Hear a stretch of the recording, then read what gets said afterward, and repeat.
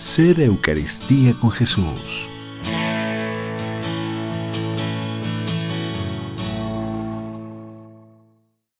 Estamos aquí en Ser Eucaristía con Jesús. Hola Tere, ¿cómo estás? Bien, gracias a Dios, Nieves. ¿Cómo estás tú? Muy bien, gracias a Dios. Que la paz del Señor esté con todos ustedes. Pues sí, felices aquí de estar una vez más con ustedes y tocando este tema tan interesante, tan importante, tan delicado que está sucediendo y que pues ha sucedido ahora sí que desde el principio de la historia de la Iglesia Tere. Así es, y aún en la actualidad es muy frecuente todos estos eh, actos que se cometen, ¿verdad? Y pues bueno, empezaremos a desarrollar el tema en el nombre de Dios. Pues sí, entonces comenzamos con la, pues con la última cena, que es cuando nuestro Señor Jesucristo va a, este, pues va a partir el pan, ¿no? Y en ese momento le va a decir a los apóstoles que ellos eh, hagan esto en memoria de él. Así es. Y en ese momento él dice que el que coma su cuerpo y coma, coma su sangre y beba su sangre, ¿sí? Así es, permanecerá en él. Y bueno, todos estos eh, momentos en los que él va a, a, narrar y que está en la Biblia y que está en el Evangelio, eh, va a narrar cómo él se va a quedar presente en la Eucaristía, en ese, en ese pedacito de pan, en ese, en, ese vino consagrado. Eso, en ese momento, empiezan ya las primeras eh, mentes a dudar sobre su presencia real y obviamente a burlarse sobre esto, ¿no? y la burla es, es, una especie de sacrilegio muy grave, por cierto, y pues yo creo que Judas va a ser el primero en cometer este sacrilegio. ¿Por qué? Pues porque ya nos dice la Biblia como inmediatamente eh, después de la última cena, él va a ir con los, eh, con los eh, del los del Sanedrín, los del Sanedrín, exactamente. Y lo vendió. Sí, y lo vende. Y lo vende por 30 monedas. Y estoy segura de que cuando Jesús menciona que Él se va a quedar y que vamos a poder comer su cuerpo y su sangre, Judas haber pensado, pues este hombre ya enloqueció, dado que pues estaba más pensando en el dinero que iba a recibir, o a lo mejor estaba pensando más en lo loco que estaba Jesús, por lo cual lo iba a entregar al Sanedrín, que pues en ese momento eh, para Jesús obviamente es una tristeza inmensa. Él ha estado rezando por Judas. Eh, Jesús no quiere que, Judas se pierda. Seguramente dicen por ahí que la Virgen Santísima le pide que por favor se convierta a Judas, pero pues Jesús siempre nos va a dar la libertad para creer o no creer, para pensar y para aproximarnos a Jesús o alejarnos de Él. Exactamente, indudablemente Judas dudó, no creyó, como tú dices, pensaba que Jesús a lo mejor, pues, que estaba diciendo, ¿no? Y para muchas personas en la actualidad, desgraciadamente, no creen que realmente está eh, el Santísimo Sacramento Jesús, con su cuerpo, su sangre, su alma y su divinidad. Y por eso es que no le dan la importancia que deberíamos de darle. Sobre todo de acompañarle, ¿verdad? Así es. Y bueno, luego las, Ana Catalina Emery, que es una, una mística alemana del siglo XIX, nos va a narrar cómo en el huerto de los olivos eh, Jesús va a sufrir por este pecado del sacrilegio. Y va a sufrir tremendamente. Y dice así Ana Catalina Emmerich, dice, apareciéndose a los ojos de Jesús todos los padecimientos futuros de sus apóstoles, de sus discípulos y de sus amigos. Vio a la iglesia primitiva tan pequeña y conforme iba creciendo, vio las herejías, los cismas que iban a hacer irrupción y renovar la primera caída del hombre por el orgullo y la desobediencia. Vio la frialdad, la corrupción y la malicia de un número infinito de cristianos, la mentira y la malicia de todos los doctores orgullosos, los sacrilegios de todos los sacerdotes viciosos, las funestas consecuencias de todos estos actos, la abominación y la desolación en el reino de Dios, en el santuario de esta ingrata humanidad. Y esto fue lo que más dolor le causó a Jesús. Fíjate, acabas de mencionar algo muy importante que para mí, ¿verdad? Es, eh, con todo respeto y con toda caridad, que muchas veces en nuestros sacerdotes no hay esa fe, de que realmente al que están consagrando en el, es a Jesús. No lo creen, ellos hacen un acto... de hecho, hay un, hay un chiste, no sé si lo has escuchado. El chiste es así, dicen que el primer día que un sacerdote es ordenado y va a hacer celebrar la misa en el momento de la consagración, tiembla, tiembla. Y 20 años después, el que tiembla es Jesús, cuando va a consagrar. Es, una, es un chiste igual hasta de mal gusto, porque estamos hablando de lo más sagrado que tenemos, pero sí definitivamente eh, no podemos juzgar a nuestros sacerdotes severamente porque son los hombres más perseguidos por mucho por el demonio, ¿no? Porque el demonio como lo vemos en este programa, eh, lo que más odia es la Eucaristía, porque la Eucaristía es el centro y culmen de nuestra iglesia. Su presencia real es la que hace nuestra iglesia eh, privilegiada y, guiada por Dios mismo, porque está ahí vivo y presente. Y bueno, ¿por qué no va a ser el centro de ataque más directo que va a tener el demonio va a ser la Eucaristía. Así, así es, y nos ataca, este, desafortunadamente no nos damos cuenta, y ataca por la incredulidad. ¿Por qué? Porque no quiere que nosotros recibamos las gracias que tenemos estar frente al Señor, de, de, recibirlo. Aquí en este de adorarlo. de adorarlo sobre todo. Y bueno, en el caso de los sacerdotes, de consagrar. Exactamente. Porque ellos mismos van perdiendo la fe por los mismos ataques de Satanás, que les hace y les convence en cualquier parte de su vida, con cualquier pretexto, para que duden y duden y duden. Y pobrecitos, o sea, viven en, Digo, por eso es tan importante, tan importante para nuestros sacerdotes, nuestra oración primero, y que ellos mismos hagan oración, que ellos mismos recen el rosario, que se consagren a nuestra Madre Santísima. Es importantísimo para estos tiempos porque Satanás está que no descansa. Así es, no los va a dejar y por eso es que son sumamente atacados. Pero fíjate que, que, o sea, es increíble que mejor el demonio o las personas satánicas que le sirven al demonio crean más que Jesús está en la Eucaristía, porque si no, no, no, harían sacrilegios, si no, no lo atacarían, si no, no nos atacarían. Bueno, es que Satanás sabe a quién. Por supuesto. A quién atacar y, con qué. Y nosotros, ¿Con qué como, como Judas, no creemos que Jesús está realmente ahí, porque si no estuvieran así las capillas de adoración ¿te fijas? Claro, entonces, bueno, podemos ver cómo este, este pecado del sacrilegio es el más doloroso para Jesús. Así es. Por lo tanto, es el más grave, es el pecado más grave que existe para cualquier ser humano. Es el, que nosotros hagamos sacrilegio, pero a ver, tú tienes a ver la, la definición del sacrilegio. Sí, nos dice em, la Iglesia Católica, ¿verdad? Nos dice en el 2120, dice, el sacrilegio consiste en profanar o tratar indignamente los sacramentos y las otras acciones litúrgicas, así como las personas, las cosas y los lugares consagrados a Dios. El sacrilegio es un pecado grave, sobre todo cuando es cometido contra la Eucaristía, este es el más fuerte pues en este sacramento el cuerpo de Cristo nos, nos hace, se nos hace presente sustancialmente. O sea, ese es el, sacrilegio más fuerte, cometerlo contra la Eucaristía. Y es el tema que vamos a desarrollar. Exactamente. Entonces, eh, si quieres, seguimos escuchando este, el relato que nos hace este, Ana Catalina, Catalina Entonces, Ana Catalina Emmerich dice, Jesús quería rescatar con su sangre, al precio de su padecimiento, estos, estos pecados. En medio de todas esas apariciones, Ana Catalina Emmerich dice, yo veía a Satanás moverse bajo diversas formas horribles que representaban diferentes especies de pecados.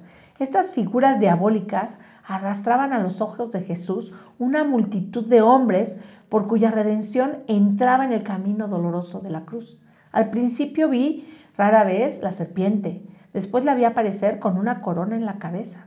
Su estatura era gigantesca, su fuerza parecía desmedida y llevaba contra Jesús innumerables legiones de todos los tiempos y de todas las razas.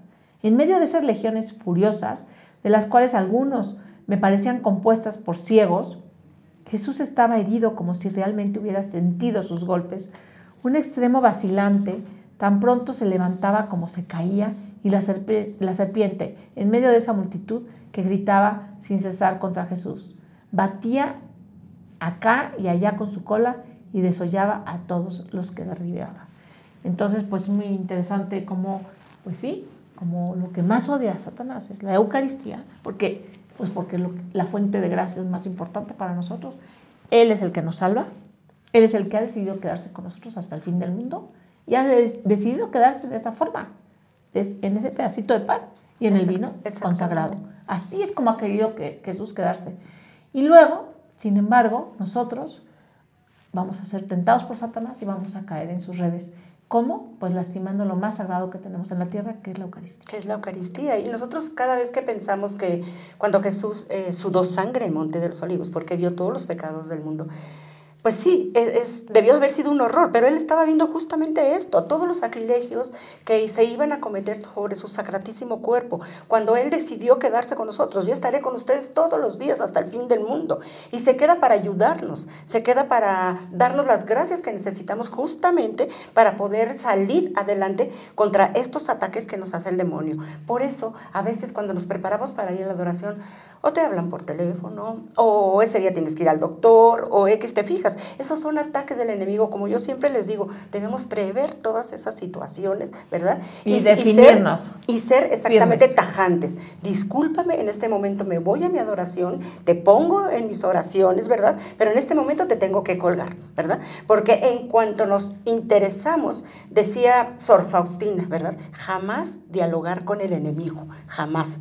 Porque solamente una persona dialogó y perdió. Claro. Eva. ¿verdad? Entonces nosotros no hay que darle, hay que cerrar y ser tajantes en ese sentido para poder acudir a, nuestra, a esa cita de amor que tenemos con el Señor.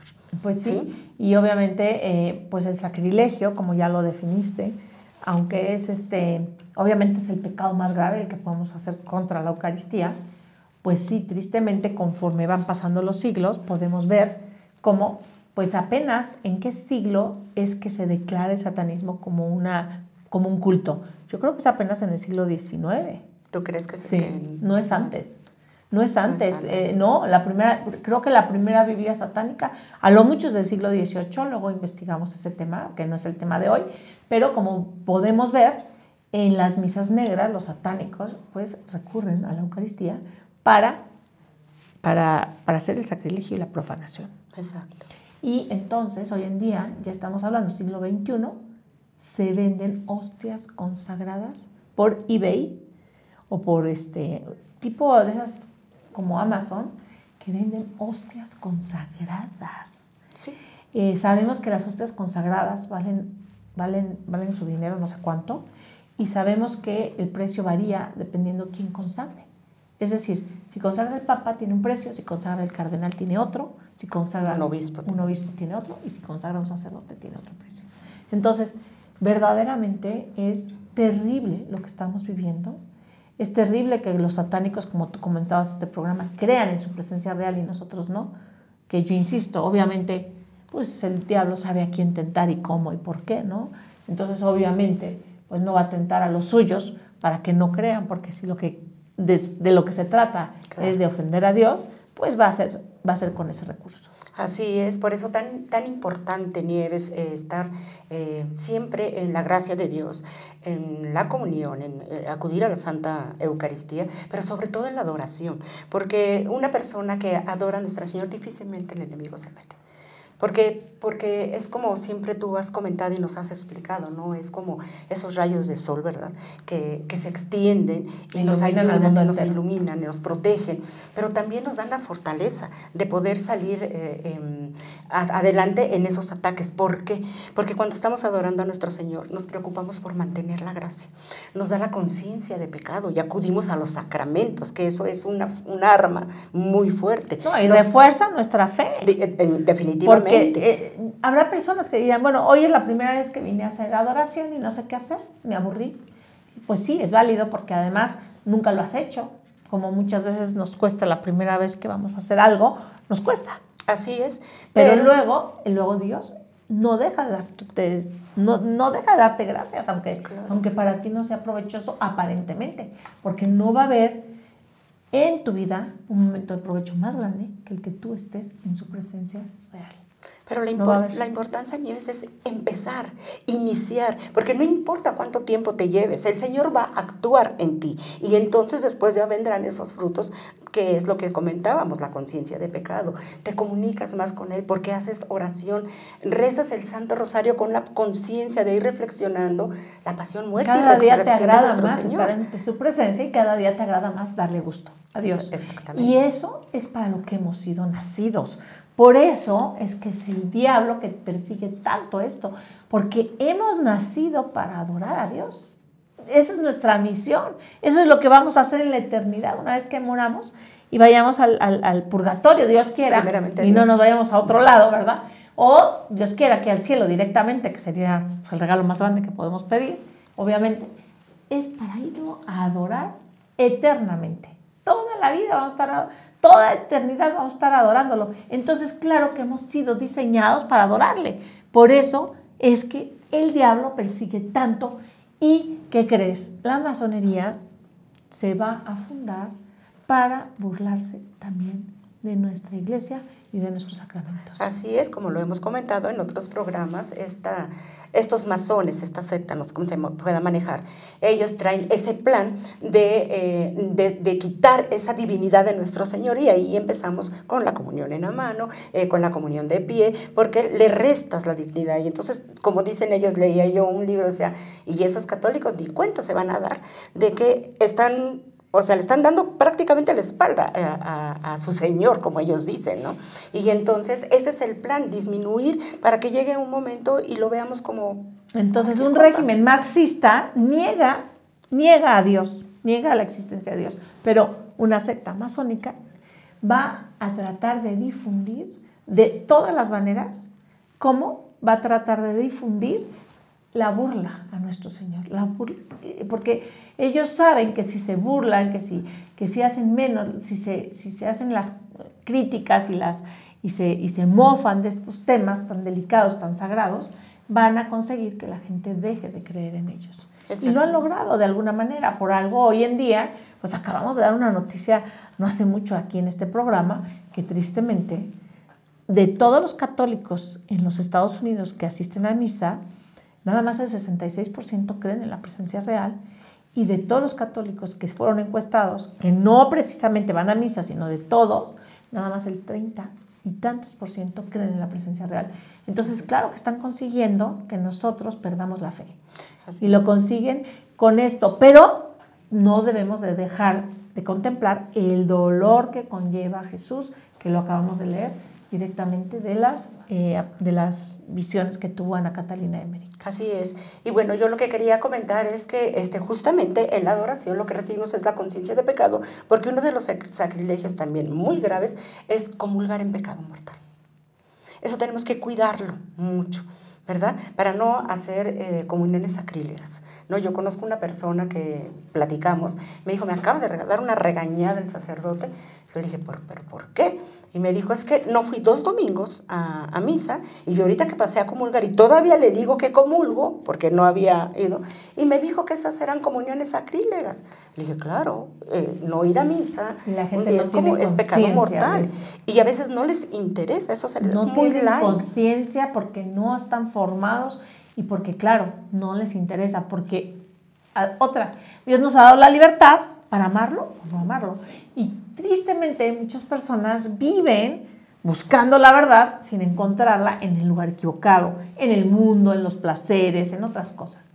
Y entonces cuando van a misa, que es cuando verdaderamente están ante nuestro Señor, no saben comportarse. Y como no están evangelizados ni formados, pues para ellos es muy fácil comulgar la mayoría de las veces en pecado mortal. ¿Qué pasa? Pues es uno de los pecados más graves que existe también eh, yo eh, acabo de justamente escuchar el video del Padre Cancelado, donde dice que pues hoy en día que tanto se considera el aborto un pecado gravísimo, que nosotros no podemos comparar el pecado de comunicar el pecado mortal con el aborto. ¿Por qué? Porque en el aborto el que sufre es una persona humana, pero que en el sacrilegio el que sufre es una persona divina, es decir, Dios mismo, que ha venido a salvarnos, que ha venido a dar su sangre, su cuerpo, su alma y su divinidad por nosotros y que se ha quedado en todos los agrarios del mundo para ser despreciado, para ser eh, ultrajado, y para ser puestos razón de todos estos sacrilegios. Entonces la comunión en pecado mortal es gravísima y para todos los que nos escuchan que no saben qué es pecado mortal, a ver, pues tenemos los 10 este, mandamientos, ahí podemos recurrir y déjame decirte que cuando nosotros comulgamos en pecado mortal es una puerta muy, muy grande para que el enemigo entre, porque es la sutileza de Satanás. Sí comulgan, no importa, no es pecado. Y entonces tú vas, lo recibes y entonces el que te está manejando, ¿verdad? Es el demonio. Es el demonio. Pero fíjate que, bueno, Primero aclarar qué es pecado mortal, porque no lo hemos aclarado. Ah, bueno, es lo que va contra los diez mandamientos que nos dio. Este, Cuando lo hacemos con conciencia de pecado. es decir, tú ya sabes que es pecado robar y robas. Ya sabes que es pecado decir mentiras y dices mentiras. Entonces, todo depende, obviamente, el, eh, cuando son pecados graves se consideran mortales, cuando son pecados leves se consideran pecados veniales. ¿Quién define si es pecado mortal o, mercado, o, mercado, o pecado venial?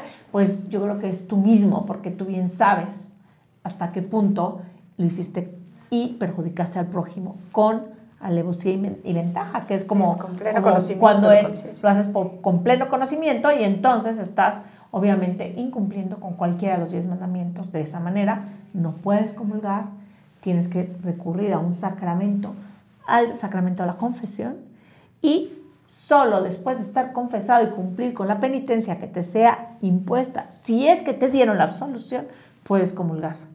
Y si no te han dado la absolución, entonces pues yo te invito a que no comulgues. No comulgues por el propio bien del amor que tú quieres tenerle a Dios nuestro Señor y por algo estás viendo este programa, porque lo que nosotros queremos en este programa es obviamente transmitir ese dolor que, que, que, vive Jesús cuando nosotros cometemos estos sacrilegios. Sí, eh, el sacrilegio va contra el primer mandamiento, obviamente, pecado mortal. Y yo considero que es más fácil arrepentirnos, tener un dolor y un arrepentimiento de nuestros pecados y acudir a la misericordia de Dios que a la justicia de Dios. Entonces, si tú ya cometiste este pecado, no importa, existe otra vez el sacramento de la confesión y Dios nos va a perdonar. Dice Dios, dice Jesús que todos los pecados son eh, perdonados, excepto los que se cometen contra el Espíritu Santo.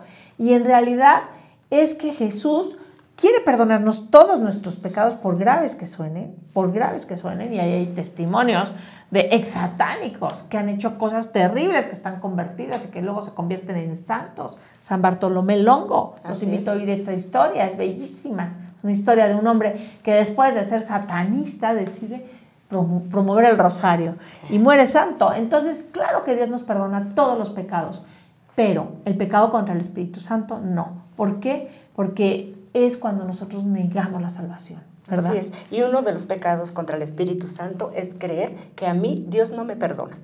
Eso es fuerte y es, es está como de moda, ¿sabes? Porque no, yo no me acerco a la iglesia porque no, yo, yo no tengo perdón de Dios.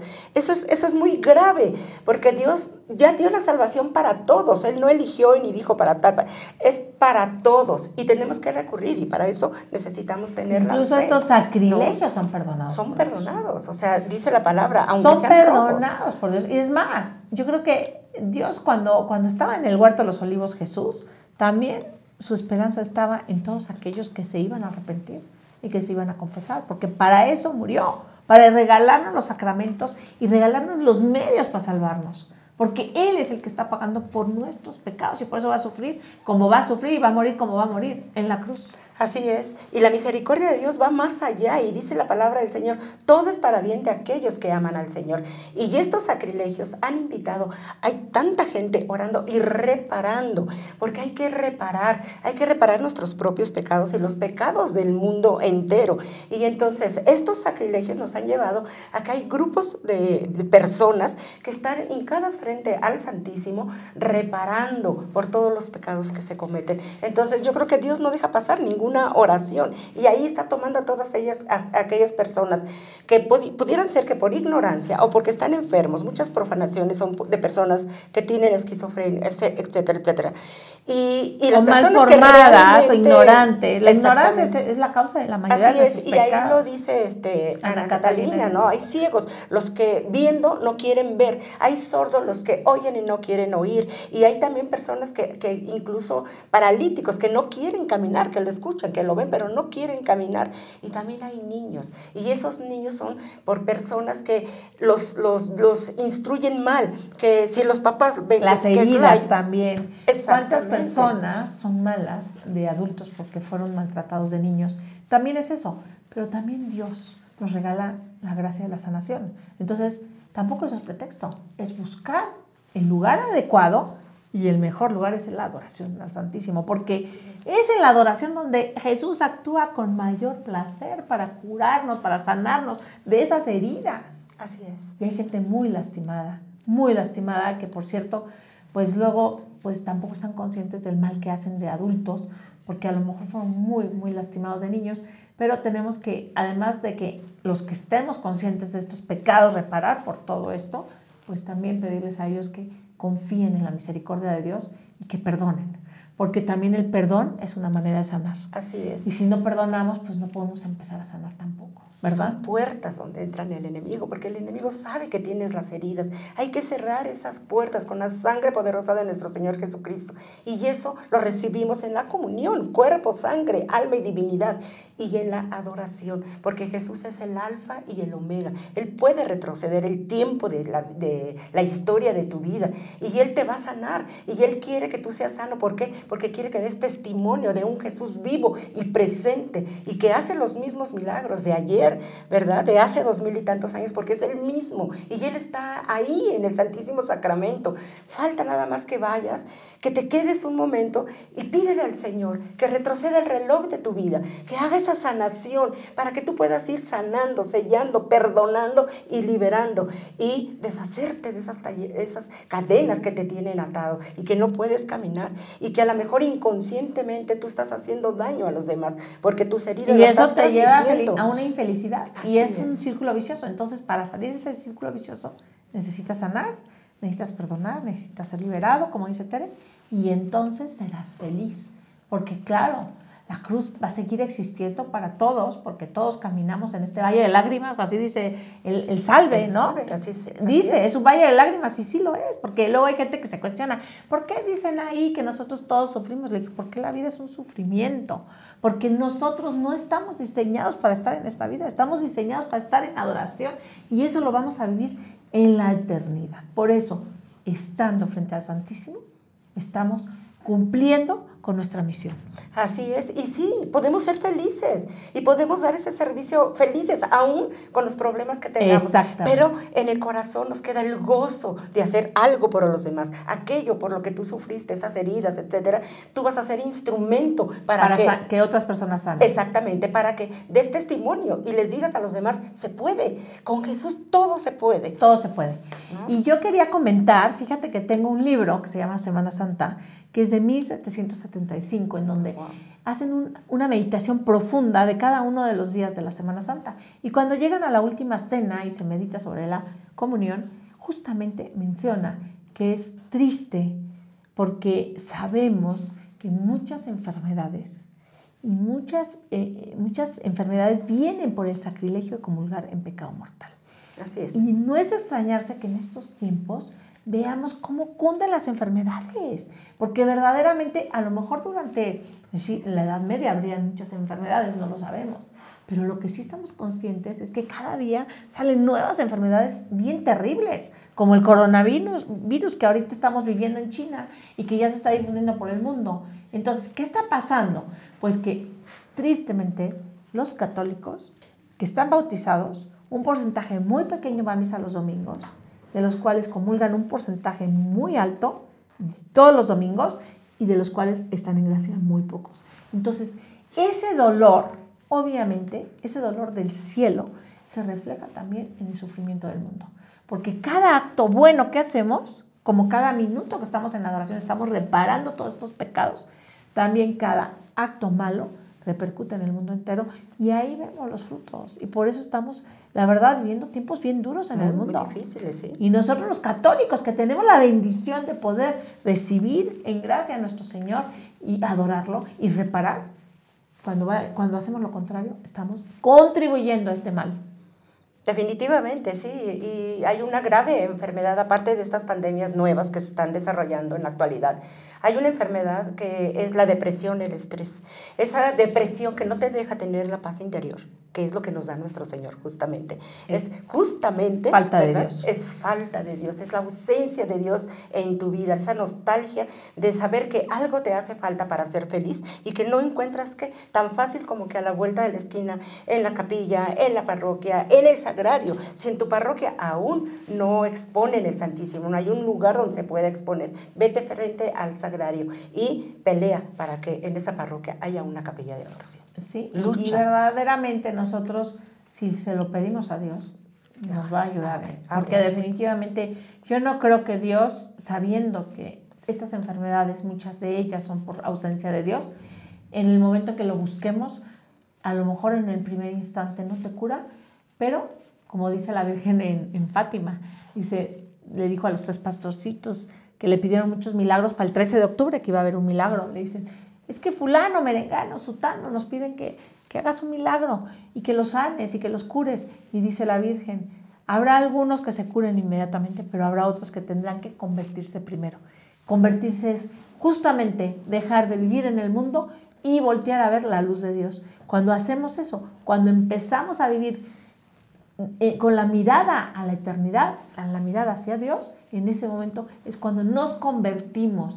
Y no es que cambiemos de religión, ojo, es que estamos convirtiendo nuestro corazón del mundo a el corazón hacia Dios, ¿verdad? Es tomar la decisión de caminar no en el mundo, sino caminar hacia Dios, a lo que le agrade a Dios. Tu segunda conversión es, cuando empiezas a tener hambre y sed de Dios, que quieres conocer lo que lees, que investigas, que lees la palabra de Dios, que te llenas, que vas a, a misa, ¿verdad? Y la tercera conversión, cuando piensas como Dios, cuando miras como Dios, cuando escuchas como Dios. Qué bonito, Tere. Pues ojalá algún día lleguemos a vivir esos momentos y que seamos todos testimonios de este amor de Dios que nos tiene tan profundo que se ha quedado con nosotros con su presencia real hasta el fin del mundo. Se lo pedimos a nuestro Señor. Y algo muy importante, oremos por nuestros niños. No hay que instruirlos en la verdad, no hay que dejarlos que se lleven en la corriente del mundo. Mira, entran a la secundaria y entran en una confusión si no están bien cimentados en la fe. Enseñémoslos a adorar a Jesús, enseñémoslos a rezar el rosario y veamos que esas dos armas son poderosísimas. Así es, y aparte que eh, la oración de los pequeños es importantísima y es muy fuerte, llega directamente a nuestro Señor cuando nosotros los enseñamos a adorar, lo que ellos oran o lo que ellos hacen en la adoración es directo, porque en esa inocencia, ¿verdad?, de, que tienen estos pequeños, suben este, directamente con nuestro Señor. Y el Señor, de verdad, ninguna oración, aunque sea como estamos, cuando somos pecadores, Él convierte todas esas oraciones en gracia. Pues que Dios los bendiga y muchas gracias por estar con nosotros.